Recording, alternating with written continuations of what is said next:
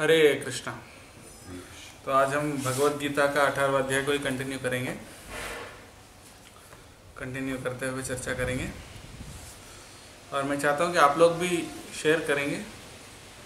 अपने अपने thoughts share करिएगा।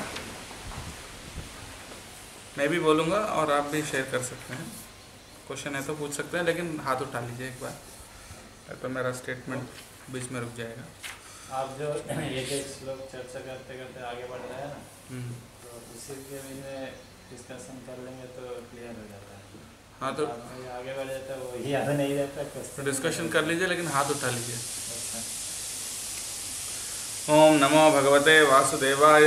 ॐ नमो भगवते वासुदेवाय। ओम नमो भगवते वासुदेवाय। ॐ नमो भगवते वासुदेवाय। ओम नमो भगवते वासुदेवाय। ॐ नमो भगवते वासुदेवाय।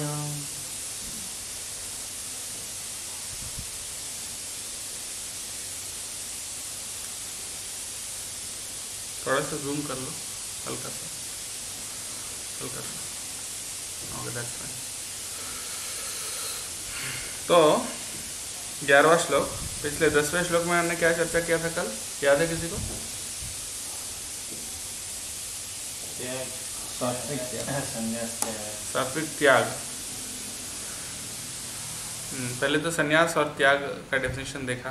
तो त्याग के विषय में दो प्रकार की मत है। मनीष इंटेलिजेंस लोग क्या बोल रहे हैं त्याग। हम्म, वेद को पंडित जरा जो लोग है शास्त्र जानते हैं। वो लोग त्याग की डेफिनेशन कर रहे हैं। हम्म, तो इसी के ऊपर भगवान भी बोल रहे हैं त्याग तीन प्रकार है। सात्विक राजसिक तामसिक तो यदि श्लोक में बताया। हम्म, राइट तो सबसे पहले स- संन्यास किसको बोलते हैं? हाँ? इच्छाओं को त्याग बार बार तुम कल से वही गलती कर रहे हो।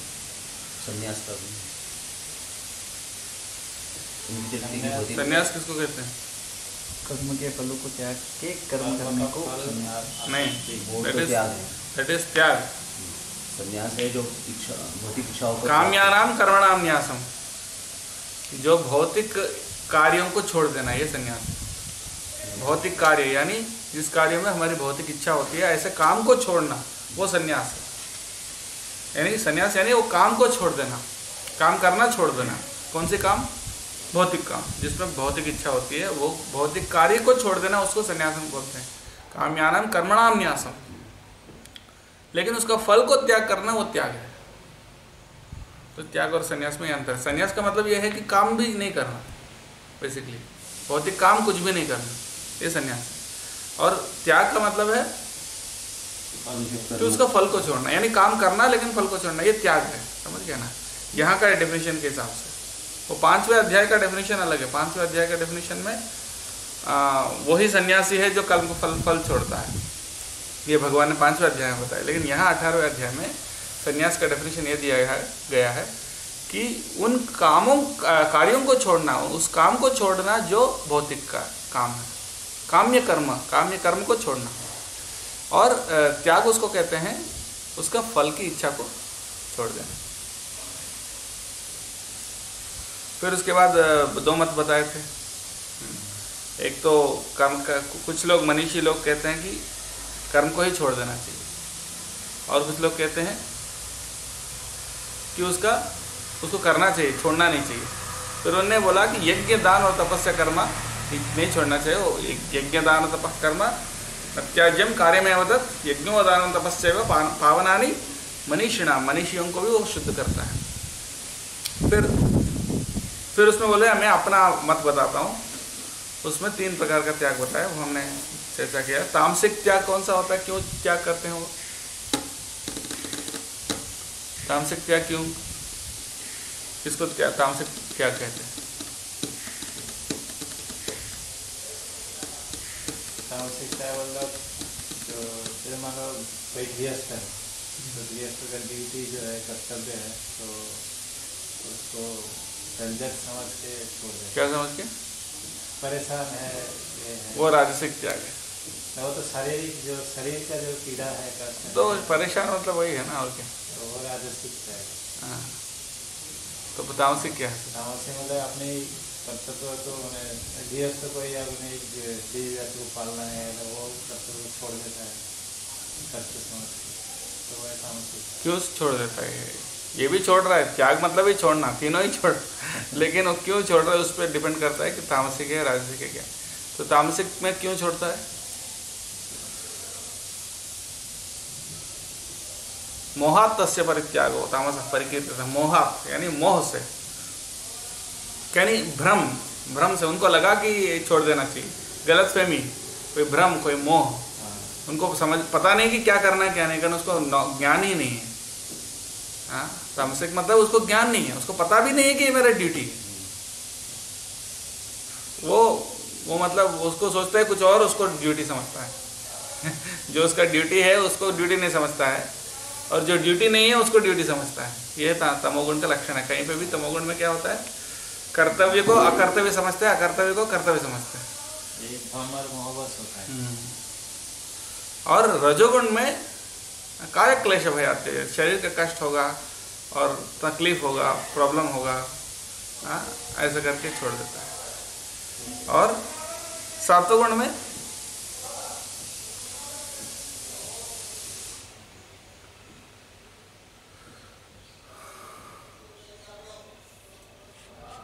सत्वगुण का भी बताओ शुद्ध सत्व का भी बताओ। तीन छोड़ते नहीं है हाँ सत्वगुण में कर्म नहीं छोड़ते हैं, सत्वगुण में उसका फल छोड़ते हैं।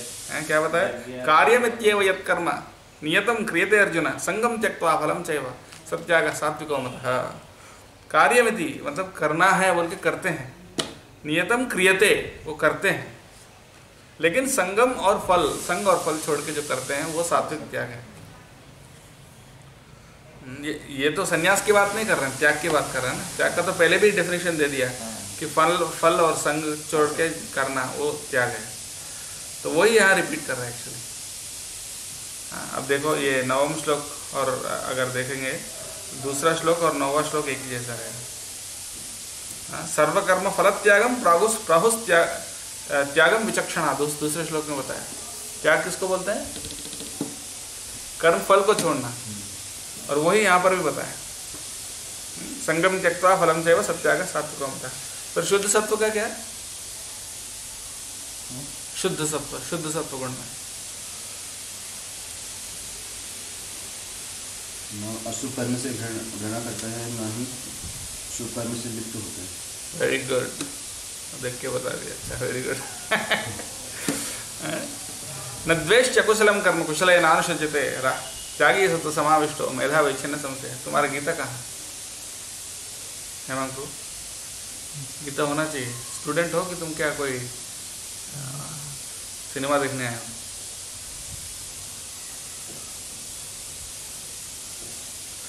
सो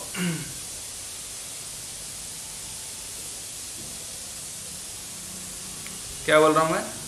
न द्वेष्ट अकुशलम कर्म यानी ये अकुशल है, या अशुभ है बोल के छोड़ता नहीं है।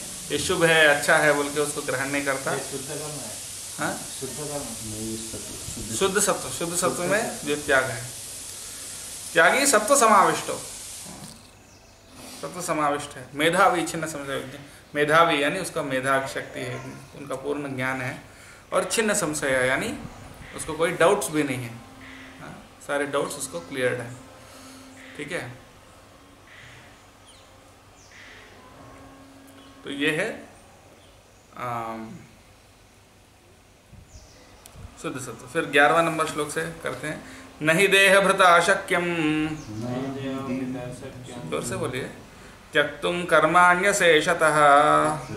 कर्माणि यस्तु कर्म फल त्यागी सत्यागीत्यभिधीयते। सत्यागीत्यभिधीयते त्यागी Uh, it is indeed impossible for an embodied being to give up all activities, but he who renounces the fruits of action is called one who has truly renounced. ठीक है तो क्या बोल रहे हैं यहाँ पर नहीं देह भृता शक्यम देह भृता यानी देहभृत यानी जिसको देह है देह को भरण करने वाला देहभृत भृत का मतलब क्या है भरता बोलते हैं ना भरता किसको बोलते हैं तो भरण करने वाला भरण करना मतलब?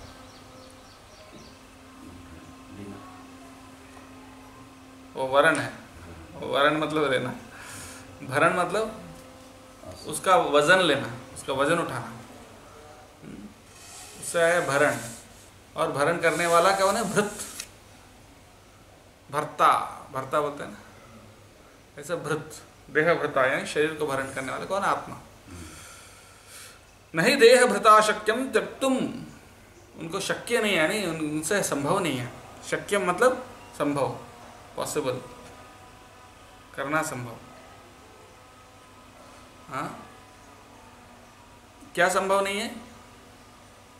त्यक्तुम कर्माणि अशेषता। पूरी तरह से कर्मों को छोड़ना अशेषता, यानी पूरी तरह से। अशेषता सभी कुछ विदाउट एक्सेप्शन सभी कर्मों को छोड़ना संभव नहीं है। हाँ। यस्तु कर्म फल त्यागी सत्यागी त्यभिधीयते लेकिन जो कर्म फल को छोड़ देता है, वो त्यागी है। क्योंकि सभी कर्म को तो छोड़ ही नहीं सकते संभव ही नहीं है ना। हाँ। जिसको शरीर है, उसके लिए संभव नहीं क्योंकि शरीर नहीं है शुद्ध अवस्था में, दिव्य अवस्था में है तो ठीक है। हाँ? थोड़ा सा इधर आ जाए बीच में। थोड़ा सा बस, ठीक है सो वही असल में त्यागी है। हम्म। जी तात्पर्य बता रहे हैं कि इस्कॉन में बहुत सारे लोग हैं जो अपने ऑफ़िस में काम करते हैं, फैक्ट्री में काम करते हैं अलग अलग जगह नौकरी करते हैं हाँ? और जो भी वो कमाते हैं, उसमें कोई, जो जो भी मतलब बचता है वो, क्या करते हैं वो? दान। देते तो वो असल में सन्यासी हैं प्रभुपाद जी बता रहे हैं। वो असल में त्यागी है। जो कर्म फल को त्याग करता है वो असल में त्यागी है। हम्म। प्रभुपाद जी ने क्या बताया यहाँ पर? Whatever they earn they give to society जो भी वो कमाते हैं वो पूरा सोसाइटी में दे देते हैं। ऐसा लग तो बोलना मुश्किल है। हाँ। तो हाँ, ये प्रभुपाद का स्टैंडर्ड देखो प्रभुपाद का स्टैंडर्ड कहाँ है और हम कहाँ हैं? प्रभुपाद का स्टैंडर्ड ये हाँ, कि प्रभुपाद ने बताया कम से कम फिफ्टी परसेंट देना चाहिए, आधा। हाँ जो बचा है उसका नहीं, जो कमाया उसका। राइट लेकिन उसमें, लेकिन रूपा जी यहाँ क्या बता रहे हैं, जो जो कमाते सब कुछ दे देते। ऐसा एक डिवोटी थे कौन? मालूम है? अच्छा मुझे नहीं पता। हो सकता है। लेकिन एक एक और है। कौन है? मैं सुना था वो का है साउथ अफ्रीका में। फैक्ट्री है तो 90 परसेंट पूरा दे देते हैं टेन अच्छा। परसेंट लगता है फैक्ट्री के लिए घर पे चला गया ठीक है अच्छा है। अब गोपाल कृष्ण महाराज क्या बोल रहे थे? करते थे। वैसा करते थे अच्छा। और एक और कौन है मालूम है? है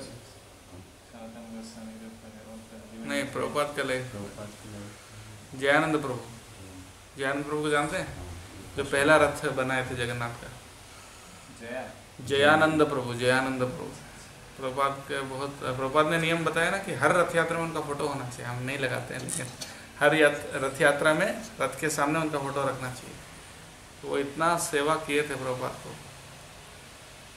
और वो क्या करते थे? वो टैक्सी चलाते थे। आ, हाँ व्यवस्थित थे शायद तो टैक्सी चलाते थे। और जो भी वो कमाते थे उससे क्या करते थे? प्रभुपाद को देते पूरा। पूरा। मंदिर के लिए हाँ। तो ऐसा बहुत सारे हैं लेकिन वो तो बहुत ही हाई स्टैंडर्ड है जैसे खोला बेचा श्रीधर वगैरह। हाँ, खोला बेचा श्रीधर और भी शास्त्रों में बहुत उदाहरण है। लेकिन प्रभुपाद ने बोला कम से कम आधा देना चाहिए। जो कमाए उसमें। लेकिन आजकल लोग हाँ ऐसा नहीं बोल रहा हूँ कि अ, हमको ऐसा नहीं कि फोर्स करना है उनको। सोचते हैं। लेकिन स्टैंडर्ड जानना भी चाहिए ज़रूरी है।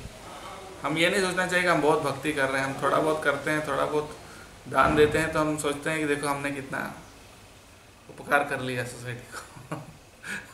लेकिन प्रभुपाद का स्टैंडर्ड से कितना नीचा है है ना? राइट और ऐसा ब्रह्मचारी का भी प्रभुपाद का स्टैंडर्ड बहुत ऊँचा है। सन्यासियों का तो भी बहुत ऊँचा है। लेकिन हमको प्रयास करना चाहिए धीरे धीरे वहाँ। ब्रह्मचारी का मतलब कोई भी सेवा, किसी भी समय एनी सेवा एनी टाइम एनी वेयर कि कोई भी जगह में, कोई भी सेवा, कोई भी टाइम में। बताए तो उसको हाँ करना चाहिए। ना करे तो वो ब्रह्मचारी ऐसा स्ट्रिक्टली और ऐसे मैंने सुना कि भक्ति सिद्धांत सरस्वती ठाकुर प्रवचन दे रहे थे, एक ब्रह्मचारी ऐसा दीवार पे ऐसा टिक के ऐसा बैठा था। तो भक्ति सिद्धांत सरस्वती ठाकुर ने उनके तरफ़ देखा, बोला, तुम जाके शादी कर लो, क्योंकि तुमको शेल्टर चाहिए। भगवान हरि कथा के अलावा दूसरा शेल्टर चाहिए आपको, इसलिए वो शेल्टर ले लो ऐसा। ऐसा। राइट अगले आगे श्लोक। अनिष्टमिष्टम मिश्रम च। अनिष्ट ज़ोर से बोलो। बाकी टाइम इतना चिल्लाता अभी क्यों अनिष्टमिष्टम मिश्रम च। त्रिविध कर्मण फलम। भवत्यत्यागिनां प्रेत्य। भवत्यत्यागिनां प्रेत्य। न तो सन्यासिनां क्वचित्। न तु तो अब अब तीन प्रकार के कर्म फल के बारे में बता रहे हैं। हम्म? या तो गीता नहीं रखते हो। अगर रख दिया तो उसी पे देखते हो इधर नहीं ध्यान नहीं तो तीन प्रकार के कर्म फल हैं। कौन से? अनिष्टम इष्टम मिश्रम च। अनिष्टम मतलब जो अच्छा नहीं लगता। है जो हमको पसंद नहीं है, इष्ट मतलब पसंद। जो अनिष्टम, यानी जो पसंद नहीं है, वो फल है। इष्टम, यानी जो पसंद है, और मिश्रम च। मिक्स है। थोड़ा थोड़ा पसंद है, थोड़ा नापसंद, दोनों मिक्स करके आता है। तो ये तीन प्रकार के कर्म फल है। अनिष्टम, इष्टम, मिश्रम च। हाँ? लेकिन ये किसको होता है? अत्यागिनाम। यानी जो त्याग नहीं करते हैं, उनके लिए तीन प्रकार का कर्म फल है। लेकिन जो त्यागी है हाँ, जो सन्यासी है उसके लिए तीन प्रकार का कर्मफल नहीं आते हैं। हम्म? ये बहुत इंपॉर्टेंट नियम है। कर्मफल किसको मिलता है? हेमंत को कर्मफल किसको मिलता है? हैं? इच्छित है इच्छित लेक्चर क्यों देते हो फिर? हाँ? इच्छित इच्छा इच्छा के लिए।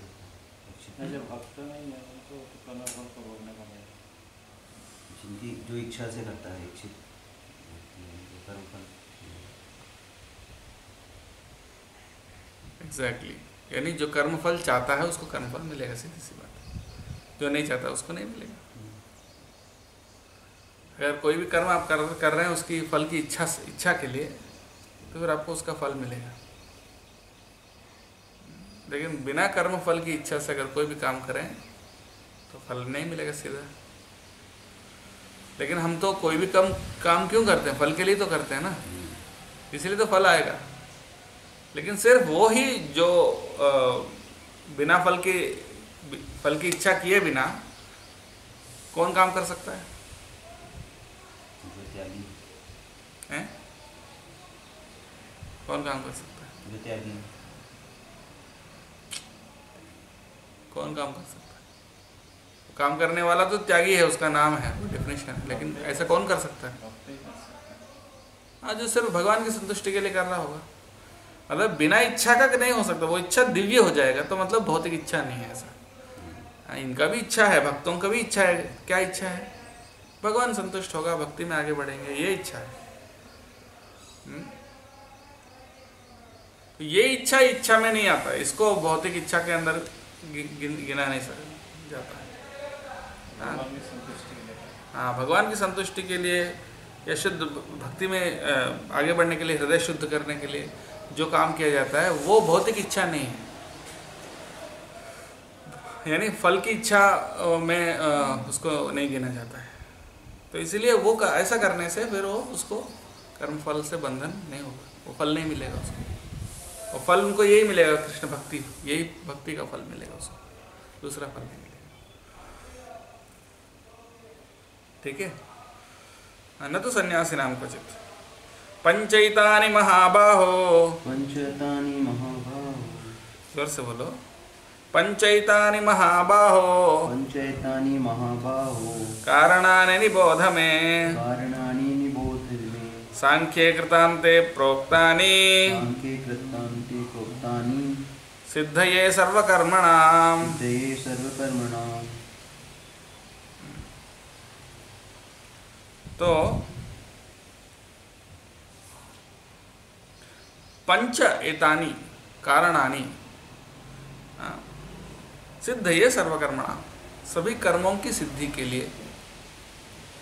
कर्मों की सिद्धि मतलब कर्म फल की इच्छा। कर्मों की सिद्धि मतलब कर्म संपन्न होने के लिए। कोई भी काम संपन्न होने के लिए हाँ सिद्ध यानी उसकी पूर्ति के लिए, उसकी कंप्लीट परफेक्ट होने के लिए पाँच कारण हैं। पंच एतानी कारणानी। ये पाँच कारण है, कहाँ बताया गया है? सांख्य कृतांते प्रोक्तानी। सांख्य योग का अंत में बताया गया है, अंते। सांख्य दर्शन का जो कंक्लूजन है सांख्य दर्शन का जो सार निचोड़ है उसमें बताया गया है कि पाँच कारण हैं ठीक है ना?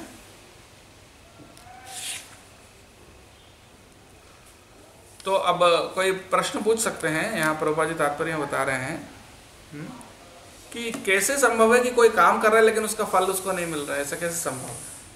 तो उसके लिए भगवान और डिटेल में बता रहे हैं। क्योंकि काम करने वाला सिर्फ़ वो व्यक्ति नहीं है। उसके लिए पाँच कारण है। पाँच कारण है। आगे बताएँगे ना। तो इसलिए वो पाँच कारण होने के कारण वो अकेला करता नहीं है। वो जो समझ जाता है उसको फल नहीं मिलेगा। It? तो हम्म, सांख्य योग क्या हाँ? सांख्य का मतलब ज्ञान। राइट और सांग वेदांत का मतलब क्या है? ज्ञान का अंत है। एंड है। ठीक है? तो ये सब प्रभुपाद जी तात्पर्य बता रहे हैं। अगले श्लोक में ये पाँच कारण बता रहे हैं। देखिए। अधिष्ठानम तथा कर्ता। अधिष्ठानं तथा कर्ता। करणं च च पृथग्विधं विविधाश्च पृथक् चेष्टा। विधाक्षा पृथक् चेष्टा दैवं चैवात्र पञ्चमम् कौन से पाँच कारण हैं? अधिष्ठानम यानी स्थान जहाँ पर आप काम करते हो। हाँ। तथा कर्ता कर्ता यानी करने वाला। करणम करणम यानी जिस जिसके माध्यम से काम करते हैं। कैसे काम करते हैं? अपने हाथों से पैरों से आँखों से अपने बोलने से जीवान से। जिन इंद्रियों से हम काम करते हैं इंस्ट्रूमेंट्स जो यूज़ करते हैं। हम्म? ठीक है? तो करण है। जैसे अभी उपकरण बोलते हैं ना उपकरण मतलब? जो इंस्ट्रूमेंट है। जैसे इधर से आप उज्जैन जाना है पैदल तो नहीं जाएँगे? कोई कार में जाएँगे। ग्यारह इंद्रिय है तो हाँ। ग्यारह करण है हाँ कार में जाएँगे नहीं तो बस में जाएँगे किसी में जाएँगे ना वो आपको करण हो गया। मतलब उसके माध्यम से आप काम कर रहे हैं। समझ उपकरण या करण। तो यहाँ करण क्या है? इंद्रिया मतलब पैर इंद्रिया कर्म इंद्रिय। ज्ञान इंद्रिय मुख्य रूप से कर्म इंद्रिय तो ये करण है।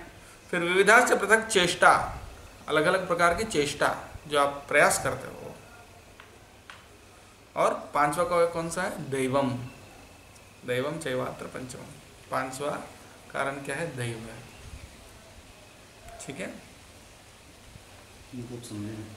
चौथा पाँचवा तो है ना चौथा चेष्टा यानी आपका प्रयास। अच्छा दैवम भगवान। दैवम का मतलब एक्चुअली सुप्रीम। मतलब देवता भी कोई बोल सकता है लेकिन असल में अल्टीमेटली कौन है? तो भगवान। तो अधिष्ठान यानी स्थान। मतलब? जहाँ पे किया जाता है। आप सुन नहीं रहे तो फिर मैं क्या बोलूँगा? दोबारा बोलूँगा रिपीट अच्छा। अधिष्ठान सबसे पहले ही बताया कि जहाँ जहाँ पर हम करते हैं जगत। फिर उसके बाद कर्ता करने वाला हाँ फिर करणम इंद्रिया। फिर चेष्टा प्रयास। और पांचवा क्या है? परमात्मा। भगवान। तो ये पाँच अ, क्या बोलते हैं उसको? कारण है। हम्म, ये पाँच चीज़ों की वजह से कर्म होता है। यानी ये सब अगर चारों भी अगर होगा लेकिन देव भगवान अगर एक, अ, उसको परमिट नहीं करेगा यानी उसको अनुमति नहीं देगा अगर भगवान तो ये चारों होते हुए भी कर्म नहीं होगा। पाँचों जब होते हैं तभी कर्म होता है। तो ये अध्यात्म के लिए होगा या हाँ? के लिए होगा? आध्यात्मिक और भौतिक दोनों के लिए होगा? या फिर ओनली आध्यात्मिक के लिए? केवल भौतिक के लिए। केवल भौतिक कार्य के लिए। हम्म। आध्यात्मिक कार्य के लिए तो आध्यात्मिक कार्य का मतलब क्या होता है? भक्ति। भक्ति के लिए सिर्फ़ आत्मा और परमात्मा के बीच में। भक्ति के लिए अगर शरीर और इंद्रियाँ हैं तो उसको उपयोग कर सकते हैं। अगर नहीं भी होगा तो भक्ति हो सकता है। आत्मा परमात्मा हम्म, वो तो शुद्ध परमात्मा और भगवान और आत्मा के बीच में संबंध है ना। लेकिन यहाँ भौतिक कार्यों के लिए ये पाँचों ज़रूरी है।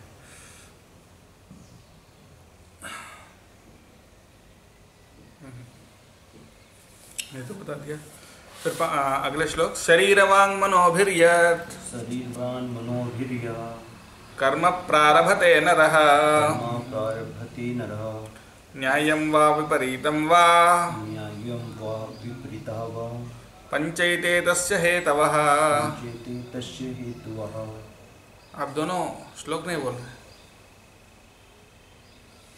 रिपीट करिए। शरीर वांग मनोभिर्यत शरीरवान मनोभिर्या। कर्म प्रारभते नरः। न्याय्यं वा विपरीतं वा। हेतवः। एक्चुअली साउंड जब मंत्र उच्चारण करते हैं तो एकदम क्लियर और ज़ोर से आना चाहिए। हाँ ये मंत्र है ना ये भी अ, भगवद गीता का श्लोक भी मंत्र है।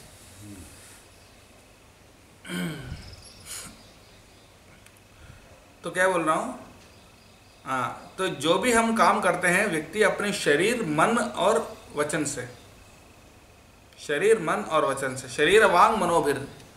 शरीर, वाक और मनस। इन तीनों से जो भी कार्य करते हैं, कर्म प्रारंभ है। जो भी कार्य शुरुआत करते हैं, न्यायम व विपरीतम वा, यानी सही हो या गलत हो।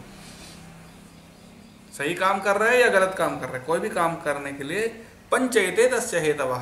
ये पाँच उसके लिए कारण है। ये पाँच कारण उसके लिए होते हैं। चाहे सही काम करे या गलत काम करे ठीक है? तो फिर आगे देखते हैं। तत्रैवं सति कर्तारम्। तत्रैव सति कर्तारम्। आत्मानं केवलं तु यः आत्मनं केवलं यः पश्यत्यकृतबुद्धित्वान्। न स पश्यति दुर्मतिः।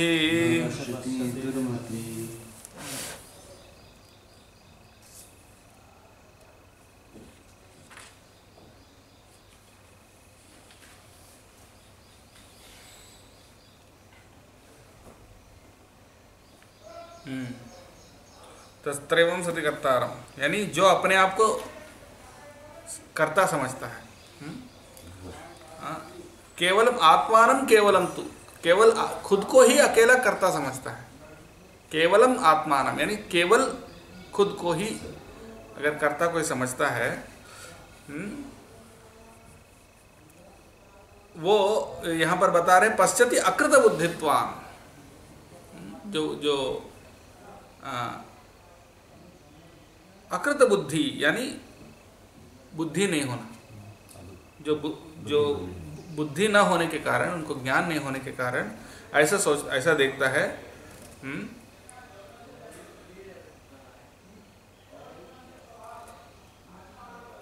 हम्म, और न स पश्यति दुर्मति ही वो असल में देखता नहीं है। समझ गया ना? पश्यति न स पश्यति यहाँ पर दो दो शब्द है। वो क्या देखता है?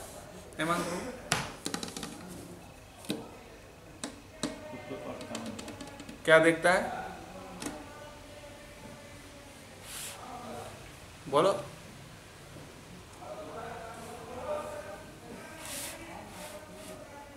क्या देखता है? समझ में नहीं आ रहा है आपको?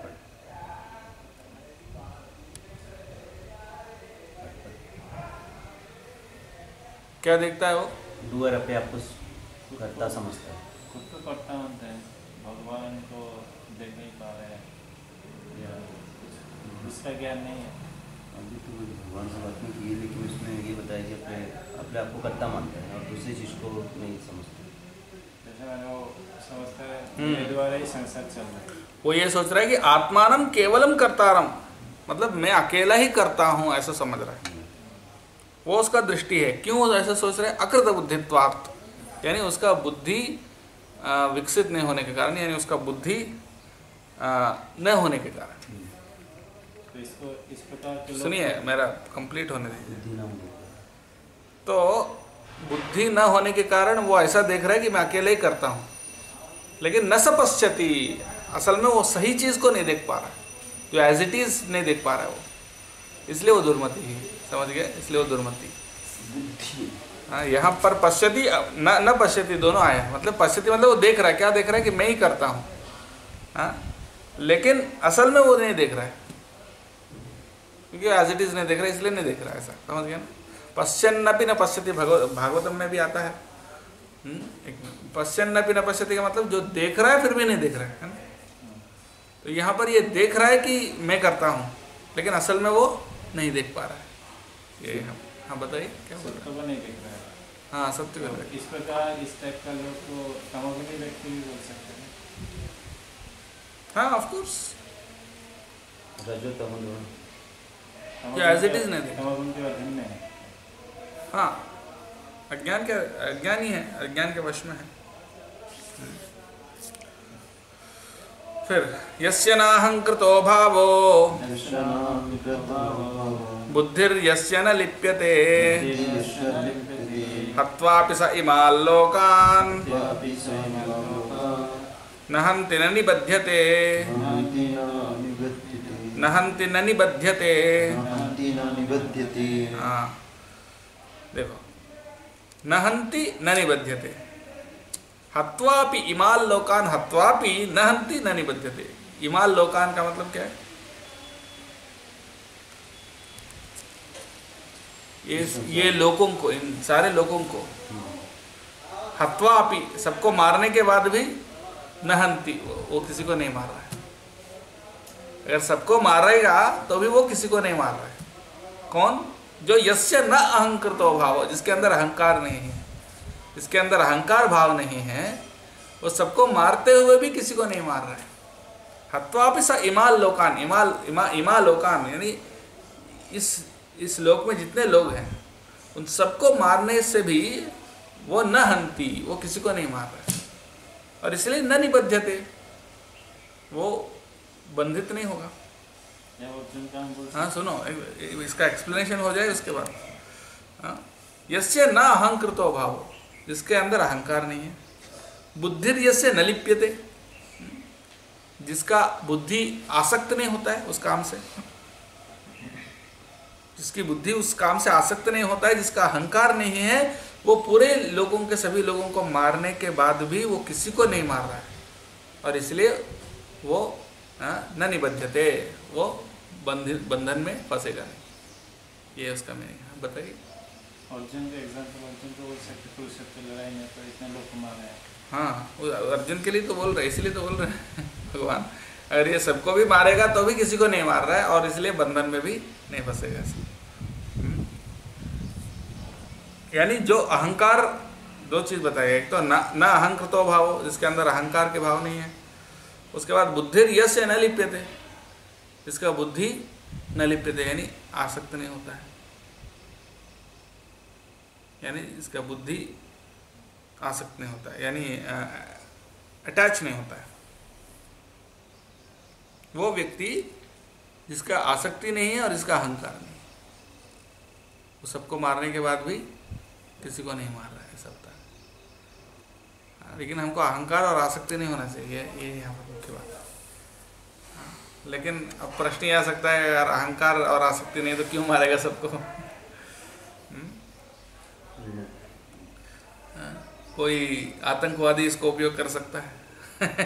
अहंकार और आसक्ति के बिना सबको मारने से भी किसको किसी को भी नहीं मारना। एक प्रश्न ये ऑर्डर देने वाला जो मारे गए जो जो जो इसको मारेगा तो इसको ऑर्डर देने वाले ऊपर में कोई होना चाहिए उसके ऊपर।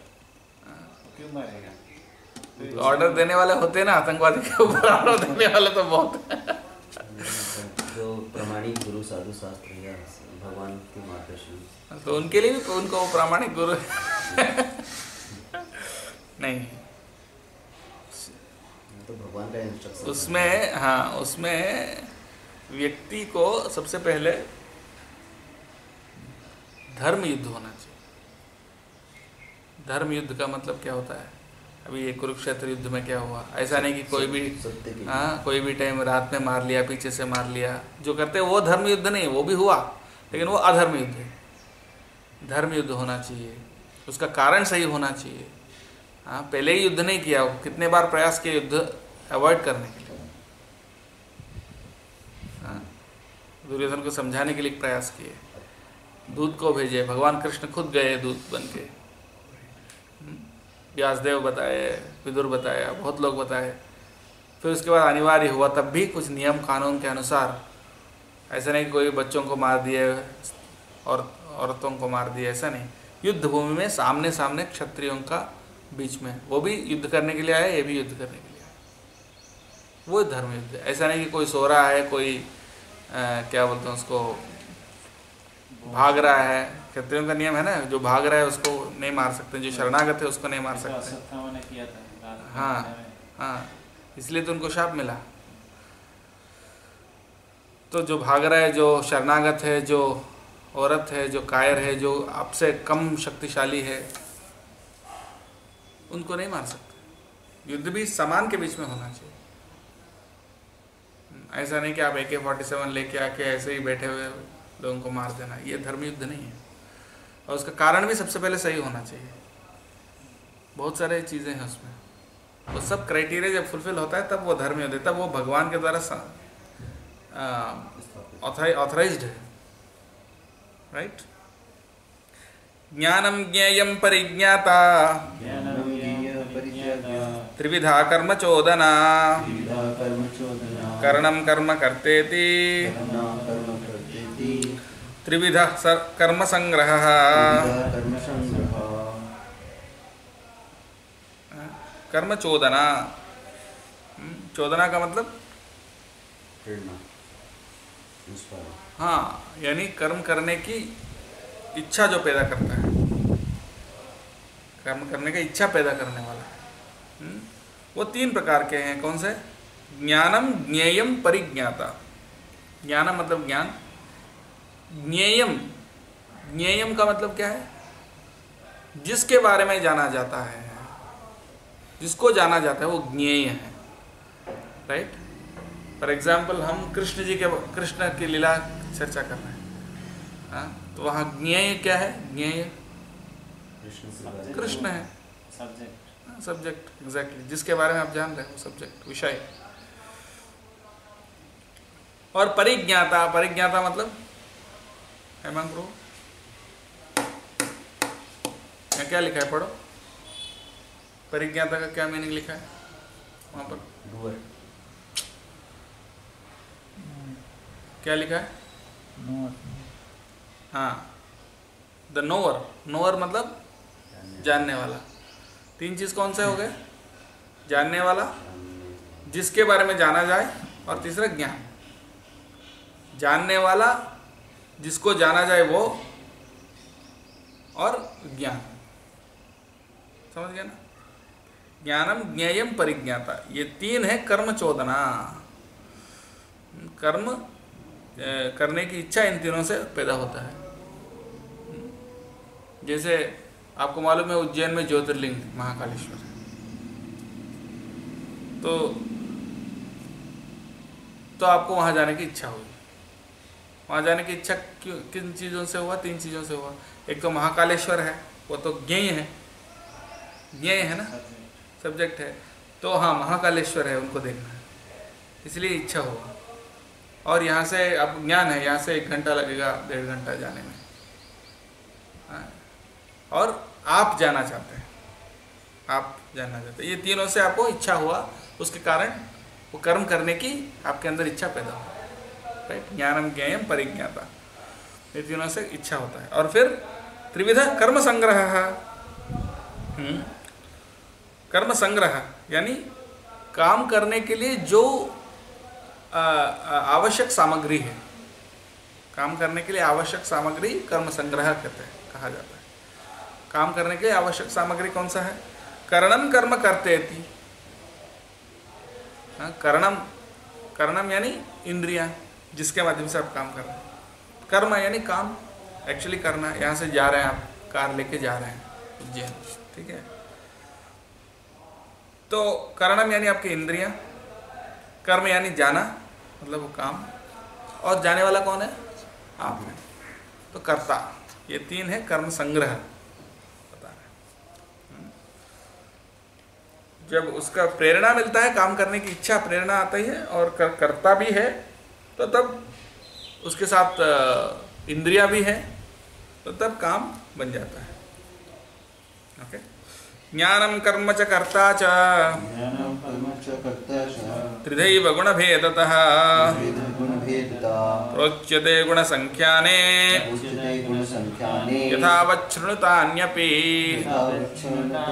यथावच्छृणुतान्यपि। यथावत् यथावत् शृणुतानि अपि। मैं ज़्यादा फास्ट बोल रहा हूँ क्या श्लोक? तो त्रिदैव गुणभेदतः हम्म, तो तीन गुणों के अनुसार ज्ञानम कर्म च कर्ता च। तीन प्रकार का ज्ञान है तीन प्रकार का कर्म है और तीन प्रकार का कर्ता भी है। हाँ, ये बताने वाले हैं आगे। हाँ, तो उसमें फिर हम कल जाएँगे कल उस पर चर्चा करेंगे ठीक है? क्योंकि अभी नौ श्लोक हो गए फिर उसके लिए फिर ये कौन से? तीन प्रकार का ज्ञान तीन प्रकार का कर्म और तीन प्रकार का कर्ता। वो टोटल नौ श्लोक हो जाएँगे उसमें। पहले तो तीन प्रकार का फल टैग के विषय में हम्म। अभी तक कितना है? ज्ञान कर्म और कर्ता ज्ञान कर्म और कर्ता ना?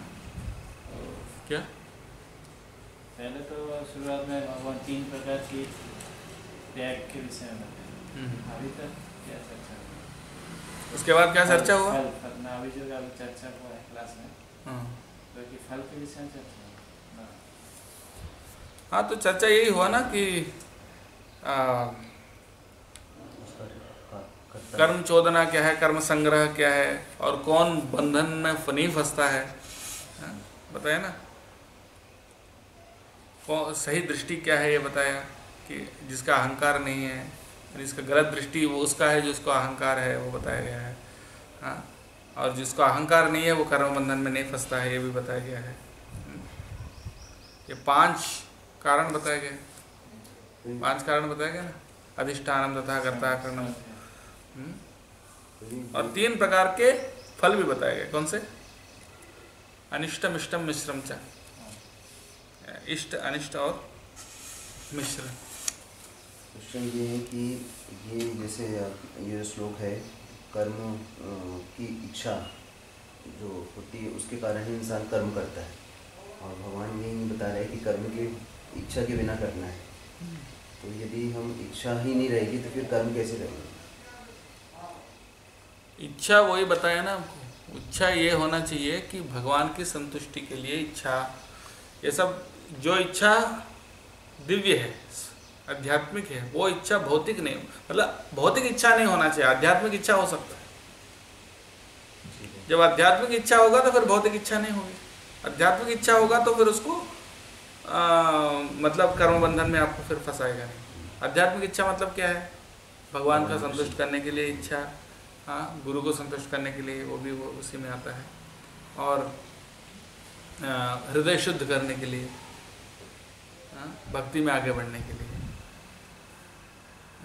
तो ये भी बोल सकते हैं शास्त्र को अनुसार को फॉलो करना है गुरु का आदेश अनुसार कर्म करना हाँ। हाँ वो सत्वगुण में आता है। शास्त्रों के अनुसार विधि समझ के जो करते हैं ना जो कर्तव्य, कर्तव्यमिति में पार्थ यानी नहीं, वो एक और श्लोक है, कहाँ बताया गया जिसको कर्तव्य समझकर काम करना ड्यूटी समझकर काम करना सत्वगुण में लेकिन भगवान के प्रति प्रेम से काम करना, ये तो दिव्य है। ठीक है? कर्तव्य समझते हाँ करना पड़ेगा। लेकिन वो करना पड़ेगा क्यों करना पड़ेगा उसमें भी भेद है। कोई इसलिए सोचते हैं करना पड़ेगा नहीं तो पाप लगेगा। वो भी दिव्य नहीं है वो भी भौतिक है। गुण क्या करना हाँ तीन गुण के लेकिन करना पड़ेगा क्योंकि ये ये मेरा असली ओरिजिनल जो नित्य धर्म है आत्मा का स्वाभाविक धर्म है इसीलिए करना पड़ेगा। वो अलग चीज़ जैसे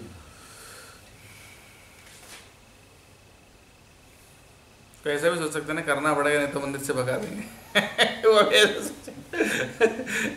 तो तो फिर- वो दिव्य नहीं। वो दिव्य कैसे होगा? वो तो डर है डर के का डर के मारे कर रहे हो। हैं हाँ? है? कम से कम हाँ सत्वगुण में है। थोड़ा ज्ञान है उसको लेकिन वो शुद्ध नहीं है दिव्य नहीं है। दिव्य वो होता है जो सिर्फ़ ये समझ के करते हैं कि मेरा स्वाभाविक धर्म है भगवान की सेवा और और उससे भी ऊँचा प्रेम से। वो तो सबसे ऊपर है।